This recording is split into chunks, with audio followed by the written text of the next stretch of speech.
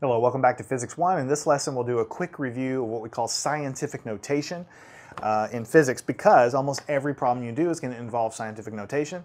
And to be truthful, when I first learned you know, physics and algebra, scientific notation actually really confused me. So I want to make sure it doesn't confuse anybody else.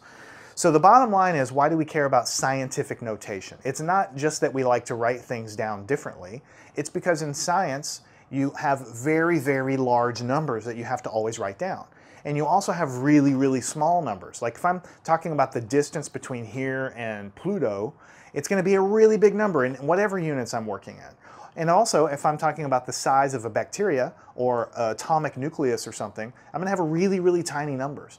So writing large numbers have lots of zeros in, in, in, it, and then writing small numbers have lots of zeros like after the decimal point also. And it's just really painful to write all those zeros out.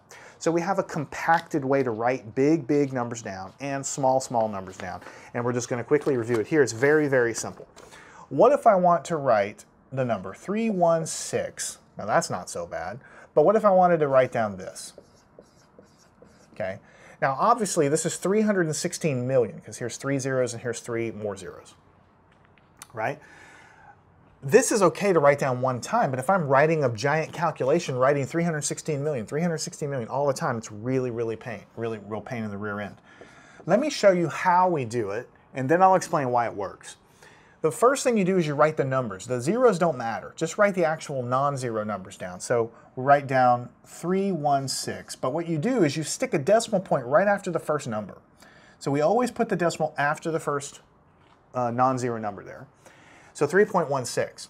And then we write it down like this, times 10, and how do you figure out the rest? Well, if the decimal is here, right after the 3, then you just count